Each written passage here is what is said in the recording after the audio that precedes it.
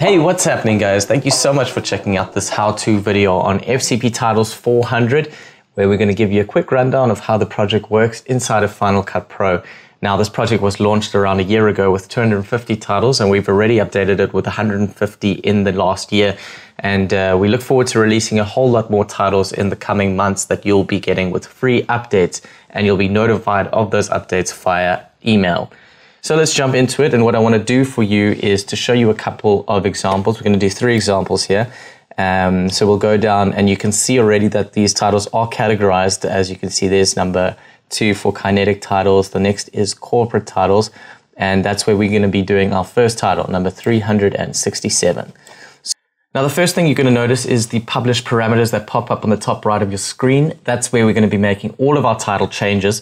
But first, let's take a look through this title by pressing spacebar. All right, so first thing is the build in and build out. And what those pertain to is the animations that happen at the start and at the end of your title. So you'll see on the left here, that's where the animation will start in and the animation will end out here. If you don't want the animation out, that's simple enough. You just click build out and it will remain static towards the end of the title. But we don't want that, so we're just going to put it on and you'll notice that it starts to animate out over there.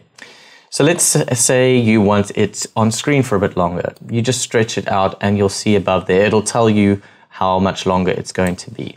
So that is going to be a 10 second title on your screen. Next, and most of these are pretty straightforward, but we'll run through it regardless. We've got the options to change the position of the title as well as to change the scale. So let's say if you wanted to be on the top right of your screen, you would just adjust the scale and then change the position of the X and Y.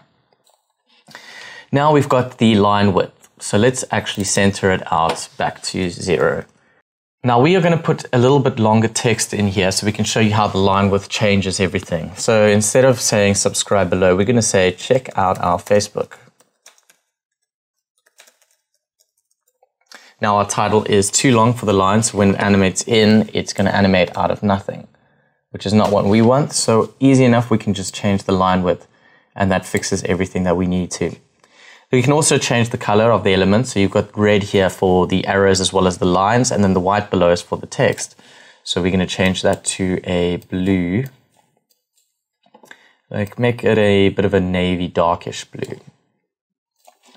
And then what we can also do is to change our font, and we're going to be using a unique font. Let's use this so we can also show how um, to realign the, the text. Because as you can see now, the text is a bit higher and we want it to be more central. So we can just change the anchor point of the text right over there. And uh, yeah, and that puts it straight into line. You can also change, as I mentioned, the color of the font, and we're going to just make that a, a lightish blue to go with our dark blue. So just like that, we have our first title in a matter of seconds. In fact, what I might want to do as well is just to shrink that line width a bit as the title is a bit bigger and we can just move the anchor to the right a bit, just as it's realigning there. Okay, so let's move along. Let's go into one of the logos, and for that, we're going to check out 214. Now, this is quite useful as well. If you've come across a title that you've used already and you like, you can actually just search for it over here. And as you can see, 214 is a logo title. So on the bottom right there, you can see the drop zone, which will allow you to import your logo. So let's bring it in here. I'm going to get rid of this first one and let's play it back. So simple enough, title comes in on the top left of the block and then we've got a logo position on the bottom right. What I'm going to do now is to go file import media and to find my logos. So what I'm going to do right over here, click on import. I think I've actually already imported it, but just to show you how simple it is. So I'm going to click on the title and the drop zone over here, if I click on that, I'll have the option to click on my media. So I'm going to select this logo and then click apply clip. And just like that, it's straight in there.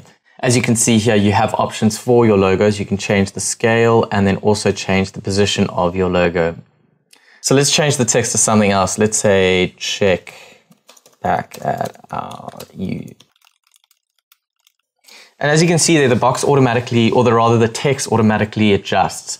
And I might say that this text is a bit too light here. So I'm going to change the font to a bolder version of that so it pops out a little bit more. Again, you have options to change your colors. So let's make this a purple. That looks quite cool. And the second color over here, which we're going to make a bit of a gray.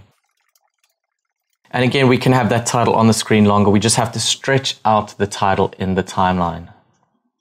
So now when we play that back, we've got our logo and we've got our bulkier text in there with a new message for us. So one last title I want to share with you is number 378. And this is quite useful if you've got, or if you're doing social media, if you're doing content media, uh, even if you're doing Instagram. Uh, let's say, for example, you want to share a message and we have the four boxes here. So four boxes representing each line. And what's cool about this title, you'll see here, is as quickly as I take the title off the screen, the boxes readjust. So let's say, for example, we want to write in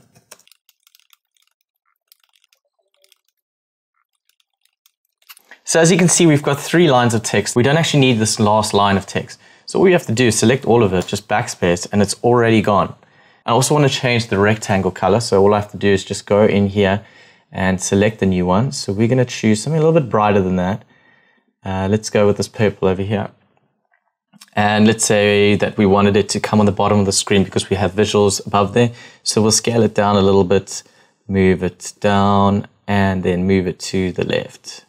And then what I'm also going to do is to bring in a picture. So that would represent what we have on screen.